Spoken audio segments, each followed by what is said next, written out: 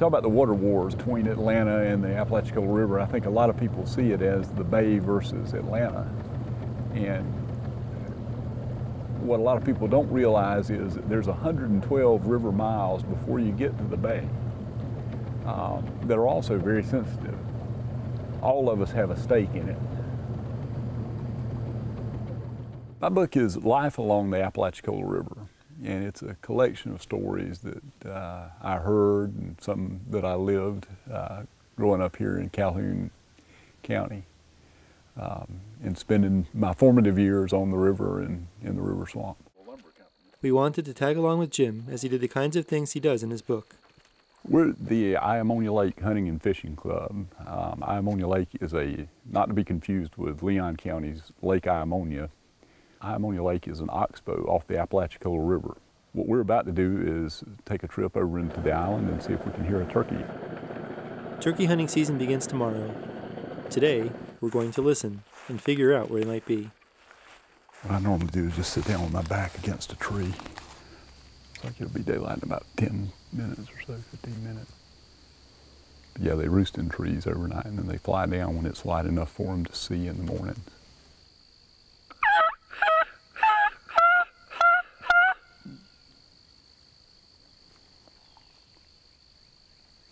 That was terrible, by the way.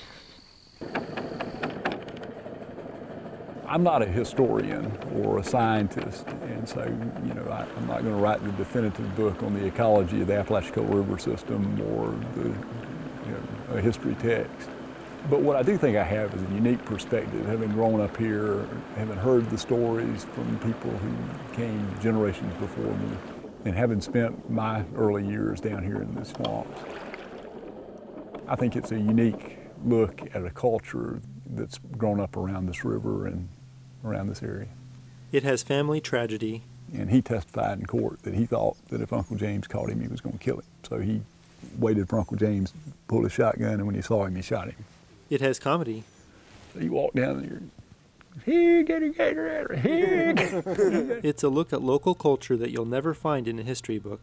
Uncle James would give my father 10 shotgun shells. And my father had to come back home with either the shotgun shell or something to show for it. Jim's family has been in Calhoun County for seven generations. For seven generations, they've hunted and fished the Apalachicola in its floodplain. Yeah, the problem with being a turkey hunter is that the normal course of things is that the male, which is what we hunt, he gobbles and the females come to him. We're trying to to a degree go against nature.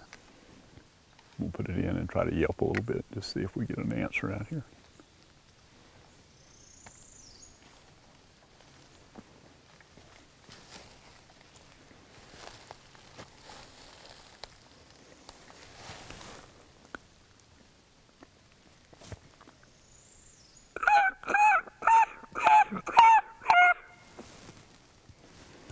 sounded very little like a turkey this morning, by the way. Jim's family has lived by the Apalachicola for over 150 years. Within his lifetime, however, he's seen both the river and Iamonia Lake change. In my lifetime, this has been a, uh, an easily navigable waterway from where we are now all the way out to the river. And if the water stays low for a long time, then you, that gives vegetation a chance to catch hold, grow, the vegetation then you know, collects more silt. Willows impede our progress as we make our way to the river. All of us you know, grew up eating fried fish, coming down here and gigging frogs and hunting and fishing. And, you know, the river was the source of all that, you know, entertainment, sustenance. Um, and before the modern era was you know, transportation and communication. And when you grow up around it, you always just assume that it's permanent, that it's always going to be there. And that's been one of the painful lessons of the last few years of my life is to realize that it may not always be here. And this is the Apalachicola River in all its foggy glory this morning. Apalachicola is about 60 miles that way. Chattahoochee is about 40 miles that way. We go back up Iamonia Lake to go fishing. This is all contingent on me being able to untangle this. the best earthworms in the world come from the Apalachicola National Forest. I have nothing to base that on, but I'm going to keep saying it until somebody proves me different. Nothing's biting here.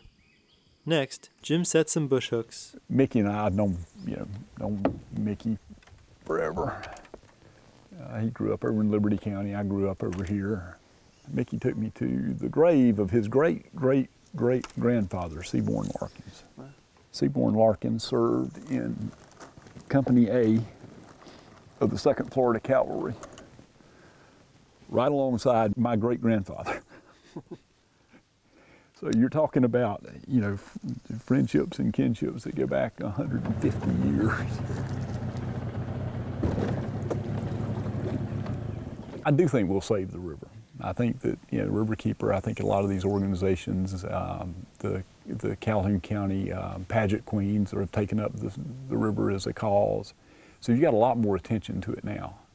My hope is that with all that attention that's focused on it, that we don't ever lose, that we don't ever forget the culture, the people like my father and his friends and my grandfather and their those, generations that came before, and uh, the fun that they had down here and the, the things that they did.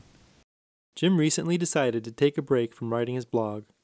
You can browse past articles at outdoorsdownsouth.com. For WFSU, I'm Rob Diaz de Villegas.